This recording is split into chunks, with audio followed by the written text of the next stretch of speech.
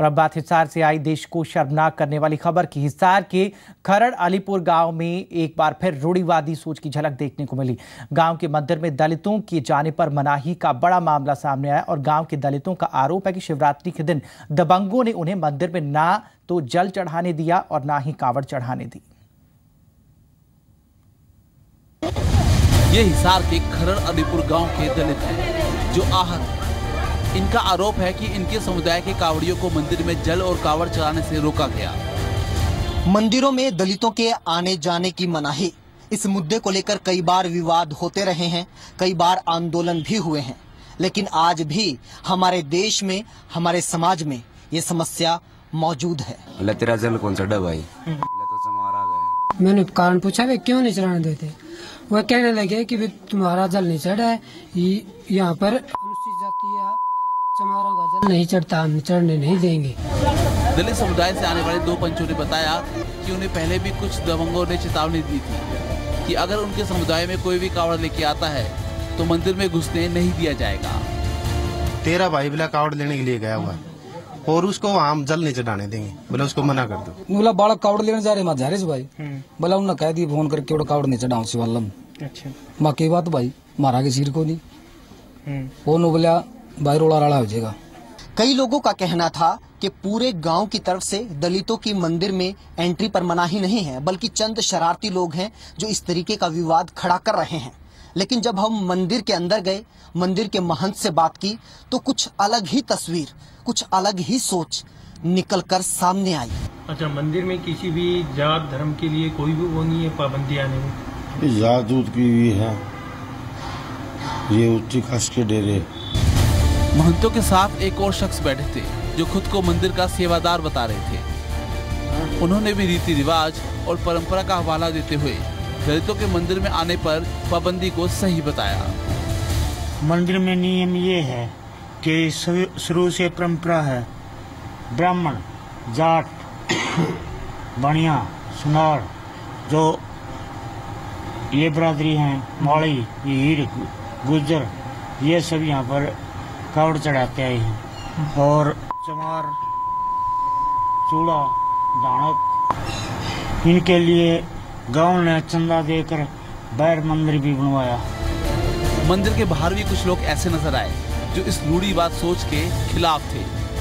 बोला भगवान तो सारा का एक है। और नीलकंठ भगवान रोक दे। किसी ने नुबेरा किसी ने किसी ने नुबेरा है कि भगवान के जैत का था। किसी ने बेरा तो बता दो। बोला का बेरा किसी ने के जैत का था। तो ये मारा जल क्यों चुका चढ़ाने दिन भैया का।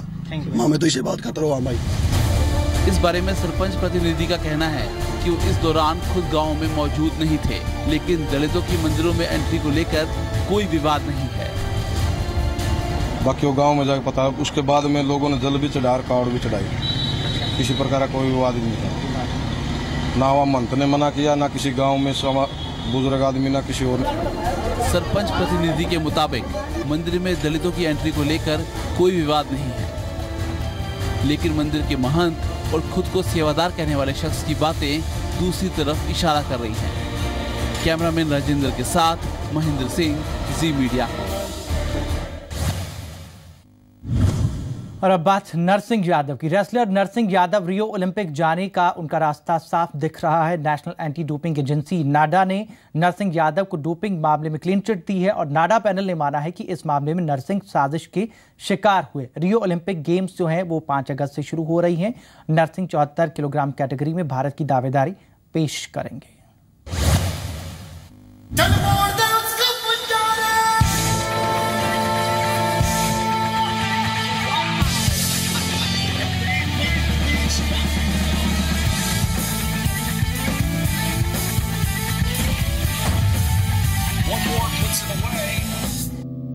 सब कुछ जब क्लियर हुई है तो एक सच्चाई की ज़रूर जीत हुई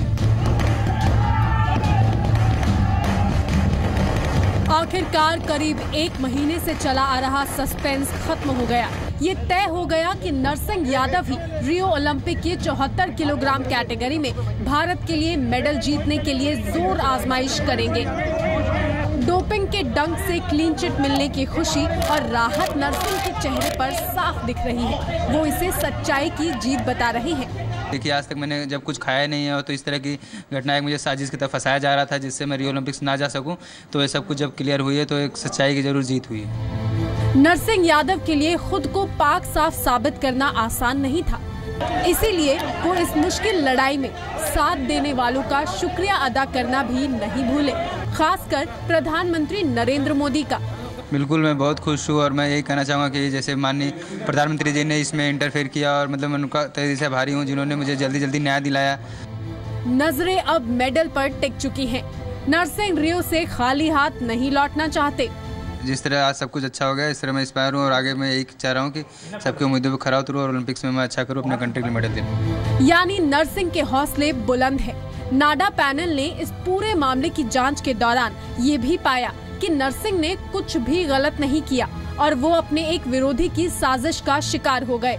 The panel is satisfied about the utmost caution exercised by the athlete in ensuring that no prohibited substance enters his body.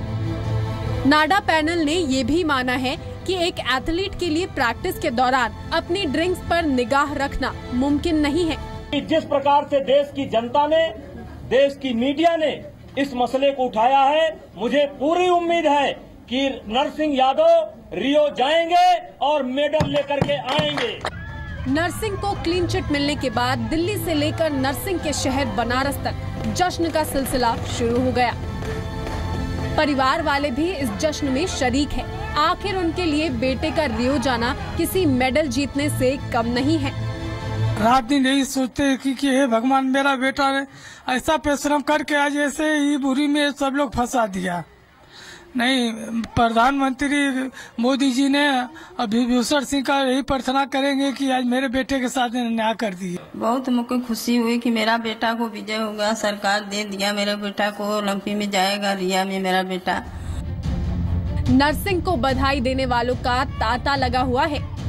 Nursing और सुशील के बीच विवाद दुनिया ने देखा लेकिन नर्सिंग को क्लीन चिट मिलने के बाद सुशील भी उन्हें ट्विटर के ज़रिए बधाई देना नहीं भूले।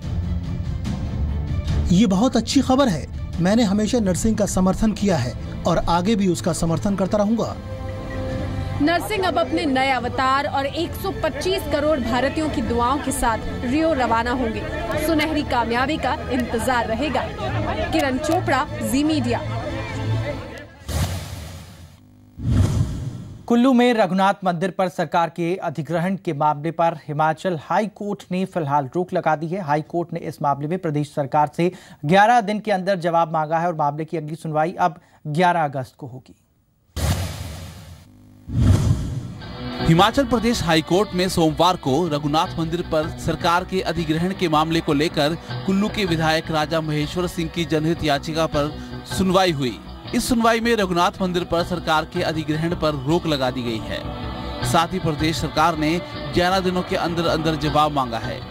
हिमाचल प्रदेश हाई कोर्ट के एडवोकेट जनरल श्रवण डोगरा ने बताया कि कोर्ट ने सरकार के अधिग्रहण पर 11 अगस्त तक रोक लगा दी है और इसे लेकर सरकार से जवाब मांगा है कि ये अधिग्रहण किस आधार पर किया गया।